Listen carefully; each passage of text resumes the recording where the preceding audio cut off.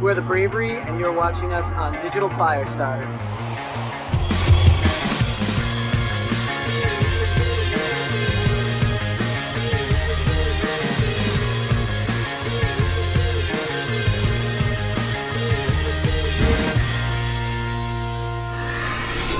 All right, what's up? We're here with the Bravery outside of Sky Ventures.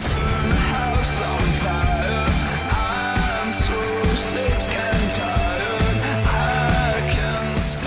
before we do some indoor sky uh, diving, we're going to talk to the guys a little bit. We got John here, Ant, Anthony, Big Mike, call him Dirt, right? Try to get you guys to do something cool while you're on the road, something different, get you off the bus a little bit. Um, I've read a lot of cool stuff about you guys. Uh, Mike, uh, they call you Dirt. What's the reasoning behind Dirt? Not as entertaining as you assume. My last name is Hindert. There's two Mikes in the band, and he started calling me Dirt. Uh, you have a, a tendency to get like naked on stage a few times. I used to, yeah. Was it it used to? It was in a, at a festival, that was the bigger Glastonbury, Glastonbury. 2005. and you know the funny thing was, Mike, when I read that, it was um, it was hot on stage, so I got naked. Where I'm just like, I don't, you know. I think it actually had to do with the bottle of uh, Jägermeister.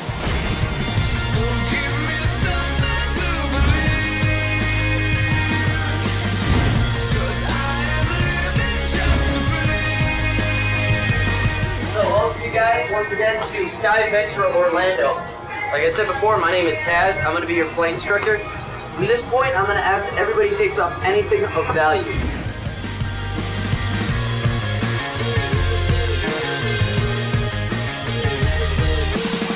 MySpace was uh, originally even started for the artists. So I mean, did you did you find that that had a, a role in you guys maybe getting signed? the internet did for sure because we were able to put music out um, without having a distributor. You know, we weren't signed to a record label. We just made an album by ourselves at home and put it up on the internet, and people found it.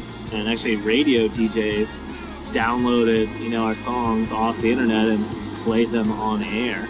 Oh, and wow. that was uh, like a really unheard of thing at the time, and that's what got you know record labels interested. How did you find out your music was getting? Like, did they say, "Hey guys, we're, we're, we're, we're spinning your stuff," or People would call us like, "Oh my God, I was in Boston and they played your song on the radio. Do you know about that?" No. You guys did something really cool that I really liked. Uh, it's the Sun and the Moon compilation where you guys brought in a producer for the first disc, and then the second disc, you guys just all the same tracks in a row, and you guys just basically produced it yourself. Do all you guys then like the Moon better because it's more you guys produced, or what you guys feelings on? it? not at all. It's just more kind of a process of how we make records. I think we write songs sort of differently than other bands because for us, recording is kind of the songwriting process.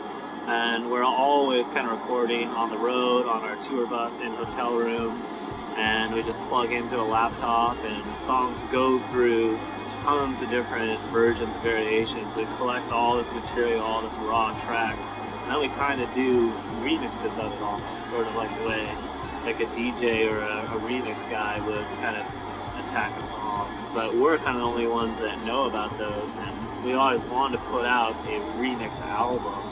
So this album, The Sun and the Moon, uh, the last record we did, was a really cool opportunity to do that. All right, well, listen, guys, uh, we'll do a little indoor skydiving now.